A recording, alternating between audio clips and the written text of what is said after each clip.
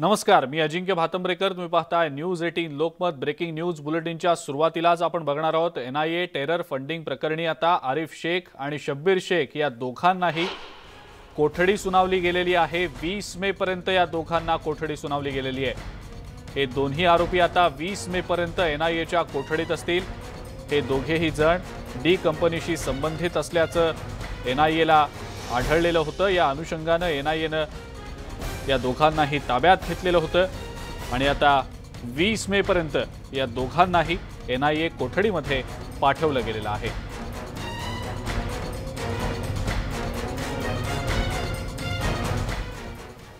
यानंतरची बातमी पुण्यातली आहे. पुणे रेल्वे स्थानकात बॉम्ब सदृश वस्तू सापडल्यानं मोठी खळबळ माजली होती. स्थानकाच्या मुख्य प्रवेशद्वारापाशी तीन जिलेटिनच्या कांड्या सापडल्यानं खळबळ माजली. या घटनेनंतर सुरक्षा यंत्रणांनी वेगानं हालचाली सुरू केल्या होत्या. पोलिसांनी एका मैदानात नेऊन त्यानंतर या बॉम्ब सदृश गोष्टी ज्या आहेत त्या डिफ्यूज केल्या.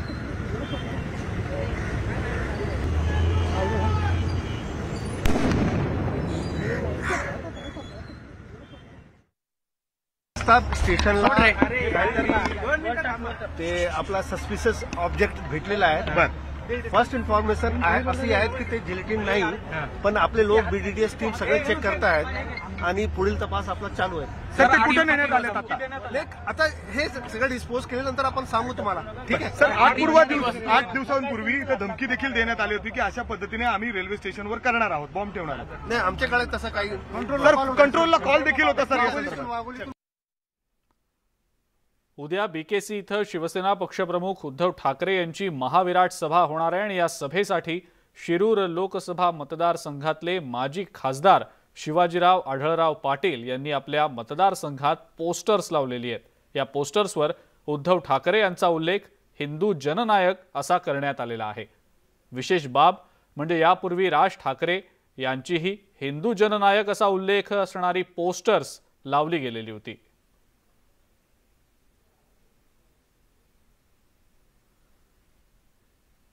उद्या होणाऱ्या शिवसेनेच्या जाहीर सभेत शिवसेना पक्षप्रमुख आणि राज्याचे मुख्यमंत्री उद्धव ठाकरे विरोधकांच्या सगळ्या आरोपांना ठाकरे शैलीत उत्तर देणार आहेत. या सभेसाठी शिवसेनेनं जोरदार तयारी सुरू केली आहे. वांद्रे कुर्ला संकुलातल्या सर्वात मोठ्या मैदानात ही सभा होतीये. शिवसेनेच्या या सभेच्या पूर्वतयारीविषयी अधिक माहिती सांगतायत आमचे प्रतिनिधी उदय जाधव. शिवसेना पक्षप्रमुख आणि मुख्यमंत्री उद्धव ठाकरे यांची जाहीर सभा वांद्रे कुर्ला संकुलामध्ये होत आहे. विरोधकांनी जे काही शिवसेनेवरती आरोप केलेले त्या सर्व आरोपांना एकाच सभेमधून उत्तर देण्यासाठी शिवसेना सज्ज झालेली आहे. आपण आता वांद्रे कुर्ला संकुलामध्येच आहे आणि जिथून मुख्यमंत्री उद्धव ठाकरे भाषण करणार त्या ठिकाणावरनं नेमकं समोर कसं सभेचं स्थळ दिसतं ते आपण इथे पाहू शकतो समोर. हे वांद्रे कुर्ला संकुलातलं मध्यवर्ती मैदान आहे. एक मोठं लांबलचक असं मैदान आहे आणि या संपूर्ण मैदानामध्ये जवळपास एक लाख पंच्याहत्तर हजार इतक्या खुर्च्या मांडण्यात येणार आहेत. समोर आपण सगळी व्यवस्था पाहत आहात ही सगळी व्यवस्था आता अंतिम टप्प्यामध्ये आहे. सर्वत्र भगवे झेंडे जे आहेत ते लावण्यात आलेले एक भगवं वाताम वातावरण जे आहे ते इथे निर्माण केलं गेलेलं आहे. आणि दूरवर बसलेल्या सर्व शिवसैनिकांना शिवसेना पक्षप्रमुख आणि मुख्यमंत्री उद्धव ठाकरे यांचं भाषण स्पष्टपणे दिसावं आणि ऐकायला यावं. या दृष्टिकोनातून संपूर्ण साऊंड व्यवस्था जी आहे ती देखील अतिशय अद्ययावत अशी इथे बा लावण्यात आलेली आहे. त्याचबरोबर एकूण संपूर्ण मैदानामध्ये बत्तीस एल ई डी स्क्रीन जे आहेत त्या संपूर्ण दूरवरती विविध ठिकाणी लावण्यात येणार आहेत. जेणेकरून सर्वांना मुख्यमंत्री उद्धव ठाकरे यांचं भाषण पाहता येईल. कोणालाही त्या संदर्भात अडचण जी आहे ती निर्माण येत करता येणार नाही. त्याचबरोबर इथे पोलिसांचा फौजफाटा जो आहे तो देखील मोठा असणार आहे. कारण इथली सुरक्षा व्यवस्था जी आहे ती सर्वात मोठी असणार आहे. कारण राज्याचे अनेक ज्येष्ठ मंत्री असतील शिवसेनेचे मोठे नेते असतील ते सर्वजण इथे उपस्थित असणार आहे. संपूर्ण ठाकरे कुटुंबीय इथे उपस्थित असणार आहे. शि छत्रपती शिवाजी महाराज मैदान म्हणजेच आपलं शिवाजी पार्कवर ज्या प्रकारे शिवसेनेचा दसरा मेळावा होतो अगदी त्याच धर्तीवरती शिवसेनेची ही जाहीर सभा होणार आहे. विरोधकांकडनं ज्या प्रकारे बुस्टर डोस सभा घेण्यात आलेल्या त्या बुस्टर डोस सभेला मास्टर डोस देणारी ही सभा असेल असं शिवसेनेकडनं सांगण्यात येत येत आहे. त्याचबरोबर भोंग्याचं सोंग उतरवणारी ही सभा असेल असं देखील शिवसेनेकडनं सांगण्यात येत आहे. एक आक्रमक टीजर असतील किंवा इतर याचे बॅनर असतील ते प्रसिद्ध करण्यात आलेले. त्यामुळे राजकीय वातावरण जे आहे ते आधीच तापलेलं आहे. या सगळ्या वातावरणामध्ये आता शिवसेना पक्षप्रमुख उद्धव ठाकरे काय नेमकं शिवसैनिकांना मार्गदर्शन करतात आणि विरोधकांचा कसा ठाकरी शैलीमध्ये समाचार घेतात हे आता पाहावं लागणार आहे. व्हिडिओ जर्नलिस्ट प्रशांत मोहितेसह उदय जाधव न्यूज एटीन लोकमत मुंबई. अकबरुद्दीन ओवेसींनी काल औरंगजेबाच्या कबरीचं दर्शन घेतलं आणि त्यावरून राज्यात एक नवा वाद सुरू झाला. औरंगजेबाच्या कबरीला ओवेसींनी भेट दिली. इतकंच नाही तर औरंगजेबाच्या कबरीवर त्यांनी चादर चढवली. यानंतर राज्याच्या राजकारणामध्ये त्यांच्यावर चहू बाजूंनी टीका होतीये. संजय राऊत यांनी ओवेसींना सुद्धा तसंच गाडू असा इशारा दिलाय. तर संभाजीराजे छत्रपती यांनी राज्यात असं घडायला नको होतं असं म्हणत विषयाला एक प्रकारे बगलच दिलेली आहे. भाजपच्या राम कदमांनी मात्र ओवेसींवर राजद्रोहाचा गुन्हा का दाखल केला नाही असा सवाल विचारलाय. औरंगजेबाच्या कबरीपुढे आम्हाला सगळ्यांना खिजवण्यासाठी महाराष्ट्राला खिजवण्यासाठी गुडघे टेकायचे. हे जे आहे ह्याच्यातून जर महाराष्ट्रामध्ये असंतता निर्माण करायची असं ह्या ओबीसी बंधूंचं काहीतरी एक राजकारण दिसतं आहे पण मी इतकंच सांगेन त्या औरंगजेबाची कबर महाराष्ट्राच्या मातीमध्ये मराठ्याने बांधलेली. त्याची त्याला कवरीमध्ये आम्ही टाकलं पंचवीस वर्ष तो लढत राहिला. महाराष्ट्रावर चाल करणारा हा मोगल राजा. म्हणजे तुम्ही आज कबरीवरती येऊन नमाज वगैरे पडताय कधी तर तुम्हालाही त्याच कबरीत जावं लागेल. औरंगजेबच्या कबरच्या ठिकाणी गेले होते आणि चादर तिने तिथे टाकले. सर कानावर आलं होतं माझ्या. पण मी त्याचा अभ्यास पूर्ण करतो. त्याच्यावर एकदम प्रतिक्रिया देणं मला एकदम बरोबर नाही. पण जर झालं असेल तसं आणि शिवाजी महाराजांची भूमी आहे आणि अशा भूमीत अं, असं करणं हे काही बरोबर नाही आणि योग्य नाही. हजारों लाखों हिंदुओं के मंदिर तोड़े हिंदुओं को पीड़ित प्रताड़ित किया यानी इस मुल्क के साथ सही मायने में गद्दारी की औरंगज़ेब ने। और इसी औरंगज़ेब के कबर में मत्था टेकने वाले ओवैसी को आप छोड़ दोगे? यही है तुम्हारा साहस। यही तुम्हारी हिम्मत। सही मायने में अगर राजद्रोह लगाना है तो इस मुल्क के साथ जिस औरंगज़ेब ने गद्दारी की और उसके कबर पर जिसने मत्था टेका, उन पर जाकर के राजद्रोह लगाइए। अकबरुद्दीन ओवेसींच्या कृतीमुळं राज्यातलं राजकीय वातावरण तापलेलं आहे. भाजपचे आमदार नितेश राणे यांनी पोलिसांना दहा मिनिटं बाजूला करा ओवेसीला औरंगजेबाकडे पाठवतो असा थेट इशारा दिलाय. जय श्रीराम म्हणणाऱ्या लोकांवर तुम्ही देशद्रोहाचे गुन्हे टाकता आणि आज चोवीस तास उलटले त्या अकबरुद्दीनला तर तुम्ही काही करण्याची तुमची हिंमत नाही. म्हणूनच मी सांगितले तुमची अगर हिंमत नसेल तर फक्त दहा मिनिटं तुमच्या पोलिसांना सुट्टी द्या. अकरावं मिनिटं लागणार नाही. मग त्याला ना औरंगजेबच्या कबरीच्या बाजूला मी झोपव आम्ही झोपवलं तर नावाचा शिवप्रेमी आम्ही नाही. कालीचरण महाराज यांनी सुद्धा या सगळ्या मुद्द्यावर आपलं मत व्यक्त केलंय. पाहूया. तिथं मत्था टेकून त्यांनी हे दाखवलेलं आहे की तो हिरो आहे आमचा औरंगजेब. त्यांचा हिरो आहे. हिरो सारखं करण्याचा प्रयत्न करतो आपण आणि त्यांच्या तयारी आहेत हिरो सारखं करण्याच्या. आपण महामूर्ख हिंदू सडक्या जातीयवादात वर्णवादात भाषावादात आणि प्रांतवादात अटकलेलो आहे. आपण हे चारही सडके वाद सोडून जेव्हा हिंदुत्वाच्या धर्मध्वजेखाली एकीभूत होऊ तेव्हाच धर्माचं रक्षण होईल हे आपण जाणलं पाहिजे. आपल्या नेत्यांनी जाणलं पाहिजे. कालीचरण महाराजांनी राज ठाकरेंवर सुद्धा टीका केली आहे. पूर्वीच्या भाषावादामुळं हिंदूंची मनं दुखावलेली आहेत. आपण जेव्हा मराठीची गोष्ट करतो तेव्हा आपल्यापासून गुजराती मारवाडी बंगाली हिंदी ओडिया तामिळ तेलुगू तुटतील हे सगळेच हिंदू आहेत असंही कालीचरण यांनी म्हटलेलं आहे. पूर्वीचे जे कारण घडलेले आहेत त्याच्यामुळे उत्तर भारतीय लोकांचे मन दुखलेले आहेत. जेव्हा आपण हिंदुत्वाचा अजेंडा पकडू हातात तेव्हा सगळा भारत सगळे हिंदू आपले होतील. जेव्हा आपण भाषेची गोष्ट करू तर बाकीच्या भाषा तुटतील.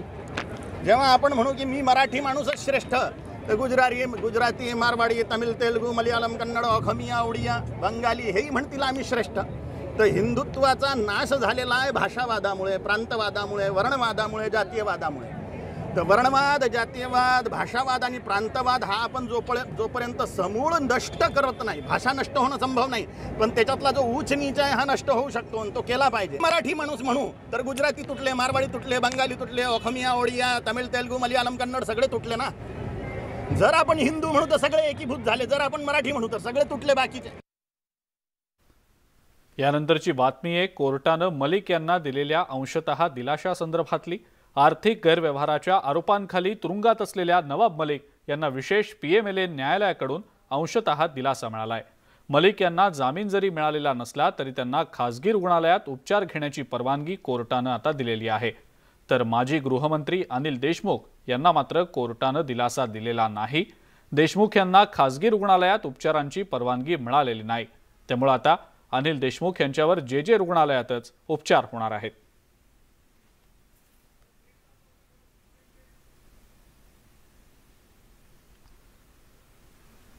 पुढची एक महत्वाची बातमी बीडमधली आहे. डॉक्टर सुदाम मुंडेला जामीन मंजूर झालेला आहे. मात्र वैद्यकीय व्यवसाय न करण्याची अट घालत औरंगाबाद खंडपीठानं हा जामीन मंजूर केलाय. अवैध गर्भपात प्रकरणी ही शिक्षा झालेली होती. राज्यात गाजलेल्या या अवैध गर्भपात प्रकरणाच्या संदर्भात डॉक्टर सुदाम मुंडे याला आता पंधरा हजार रुपयांच्या बॉन्डसह वैद्यकीय व्यवसाय न करण्याच्या आणि इतर काही अटी शर्तींवर औरंगाबाद खंडपीठानं जामीन मंजूर केलाय. अवैध गर्भपात प्रकरणी मुंडेला दहा वर्ष सक्त मजुरीची शिक्षा झालेली होती आणि त्यानंतर मुंडेला पाच वर्ष वैद्यकीय सेवा न करण्याच्या अटीवर जामीन दिला गेलेला होता. याच संदर्भातली अधिक माहिती आपण जाणून घेणार आहोत. सुरेश जाधव आपले प्रतिनिधी आपल्यासोबत आहेत सध्या. सुरेश काय नेमकी या सगळ्या संदर्भातली माहिती? गर्भपाताच्या प्रकरणामध्ये जे दोषी असलेले सुदाम मुंडे आहेत यांना तर जन्म अजन्म कारावासाची शिक्षा झाली होती. मात्र त्यानंतर ज्यावेळेस ते पेरोडवरती सुटून आले त्यांनी परळी येथे पुन्हा नंदागोड रोडवरती हॉस्पिटल थाटलं होतं आणि हॉस्पिटल थाटून त्या ठिकाणी अवैध गर्भपात करत होते. त्याचबरोबर कोरोना रुग्णावरती देखील उपचार करत होते. त्यामुळे दोन हजार वीस या नवव्या महिन्यामध्ये त्यांच्यावरती कारवाई केली गेली होती. विशेष म्हणजे ही कारवाई करत असताना आरोग्य विभागाच्या पथकानं धाड टाकली होती आणि त्या ठिकाणी संशयास्पद ज्या काही वस्तू आढळून आल्या होत्या त्या वस्तू त्यांनी गोळा केलेल्या होत्या आणि त्यावरून गुन्हा दाखल झाला होता. तो परळी ग्रामीण शहर ग्रामीण पोलीस ठाण्यामध्ये गुन्हा दाखल झाला होता. त्यानुसार आंबेजोगाईचं जे काही कोर्ट आहे त्या अंबेजोगाईच्या कोर्टाने चार वर्षाची सक्त मजुरी आणि दंड ठोठावला होता. मात्र या निर्णयाच्या विरोधामध्ये सुदान मुंडे यांनी औरंगाबादच्या हायकोर्टाच्या खंडपीठामध्ये याची धाव घेतली होती आणि त्या धाव घेतल्यानंतर आता कुठं सुधा मुंडे यांना या प्रकरणामध्ये जामीन मिळालेला आहे त्यामध्ये पंधरा हजार रुपयाचा दंड देखील त्यांना ठरवला आहे. विशेष म्हणजे सुदाम मुंडे यांना एका प्रकरणात शिक्षा गर्भपाताच्या प्रकरणात शिक्षा झालेली. असताना पुन्हा जामीनवरती आल्यानंतर देखील त्यांनी हा गोरखधंदा सुरू केला होता. त्यामुळं अशा पद्धतीनं जे काही वैद्यकीय क्षेत्रामध्ये जे नाव आणि वैद्यकीय क्षेत्राला काळीमा फासणारे जे सुदाम मुंडे आहेत त्यांना आता पुन्हा एकदा जामीन मिळालेला आहे. त्यांना त्या प्रकरणावर दिलासा जरी मिळाला असला तरी पुन्हा अशा पद्धतीचं कृत्य त्यांच्याकडून होते का हे देखील पाहण्यासाठी आता इथलची आरोग्य यंत्रणा असेल त्याचबरोबर इथलचं पोलीस प्रशासन असेल हे देखील लक्ष ठेवून असणार आहे. बिलकुल. सुरेश धन्यवाद. सविस्तर माहिती या संदर्भात दिली त्याबद्दल. पुढची बातमी बघूया. लातूरच्या शासकीय स्त्री रुग्णालयात धक्कादायक कारभार समोर आलेला आहे. कुटुंब नियोजनाच्या नावानं महिलांना कॉपर टी बसवणं बंधनकारक असल्याचा अलिखित वटहुकूमच इथल्या डॉक्टरांनी काढलाय. विशेष म्हणजे याचा त्रास झाल्यानंतर रुग्णालयातले डॉक्टर हात वर करत असल्याचं समोर आलेलं आहे.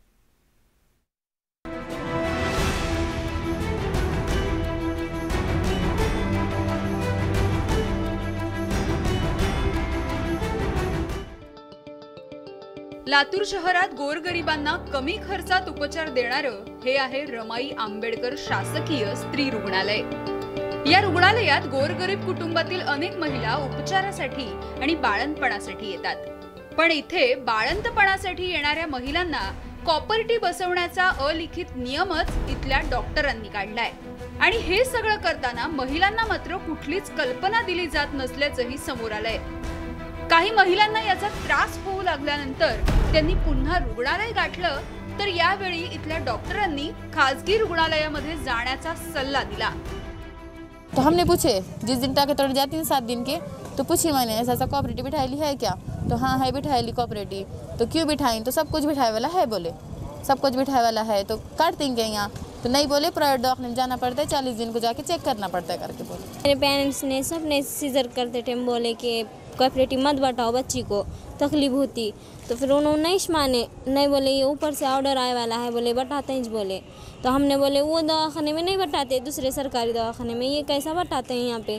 तो नहीं बोले यहाँ पे ऊपर से ऑर्डर आए वाला है बताना पड़ते बोले. उन्होंने नहीं माने कितने भी बार बोले तो। लातूरच्या एम आय एम कार्यकर्त्यांना हा प्रकार लक्षात येताच त्यांनी अधिकाऱ्यांच्या दालनात ठिय्या मांडत संबंधित कर्मचारी आणि डॉक्टरांवर कारवाई करण्याची मागणी केली आहे. यावेळी अधिकाऱ्यांनी कॉपर बसवणं ऐच्छिक असल्याचं सांगत संबंधितांवर कारवाई करण्याचं आश्वासन दिलं. सुप्रिटेंडेंट साहब को बताया है सुप्रिटेंडेंट ने हमको ये वादा किया कि जो जिन्होंने भी ये बदतमीज़ी की है उनको शो कॉज नोटिस इशू की जाएगी और उन पर कार्रवाई की जाएगी। सूचना दी जाए कि प्रॉपर्टी बिठाना ये ऐच्छिक है ये पेशेंट के मर्ज़ी के खिलाफ नहीं बिठाया जाएगा। इस तरीके का नोटिफिकेशन जारी किया जाए। साडेतीनशे डिलिव्हरीज झालेल्या आहेत टोटल आणि त्याच्यामध्ये चौऱ्याण्णव रुग्णांना कॉपरेटिव्ह बसवण्यात आलेली आहे. जे रुग्ण कॉपरेटिव्ह बसवायला नकार देतात किंवा तयार नसतात तसं त्यांच्या पेपरवर लिहिलं जातं की बाबा आम्ही कॉपरेटिव्ह बसवण्यास तयार नाही. गोरगरीब जनतेला आरोग्य सुविधा कमी खर्चात मिळाव्यात यासाठी शासन स्तरावरती प्रयत्न केले जातात. मात्र प्रत्यक्षात काही कर्मचारी चांगल्या शासकीय योजनांना गालबोट लावण्याचं काम करतात. आणि हेच या प्रकारातून समोर आलंय. गरीब महिलांच्या आरोग्याशी खेळ करणाऱ्या डॉक्टर्स आणि खासगी डॉक्टरांचे काही लागेबंदे आहेत का? हे शोधून दोषींवर कारवाई होणंही गरजेचं आहे. Nitin बनसोडसह bureau report News Eighteen Lokmat Latur.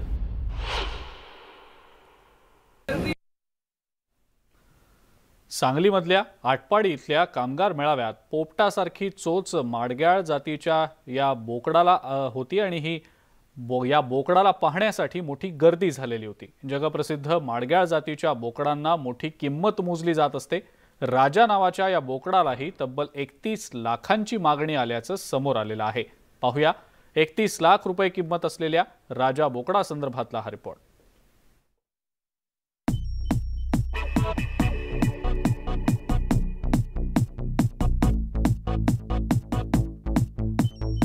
सांगलीच्या आटपाडीमध्ये भरलेल्या कामगार मेळाव्याचं आकर्षण ठरला तो विलास पाटील यांचा माडग्याळ जातीचा राजा नावाचा बोकड.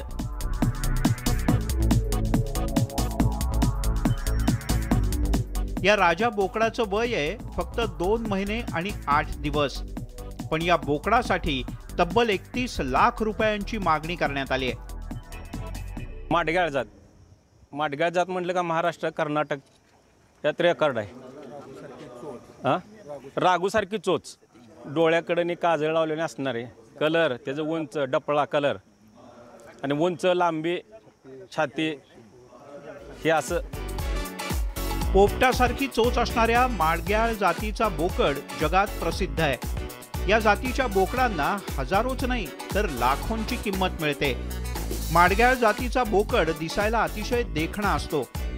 त्यामुळेच या जातीच्या बोकडांना मोठी मागणीही असते. प्युअर माटगाळ एक number.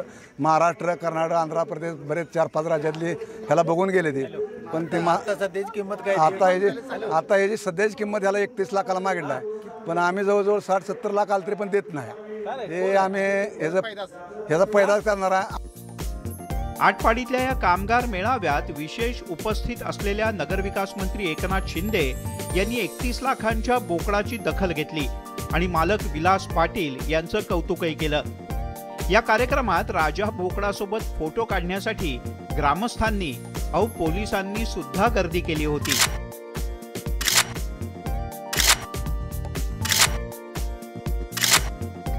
Asif Mursal News Eighteen Lokmat Sangli.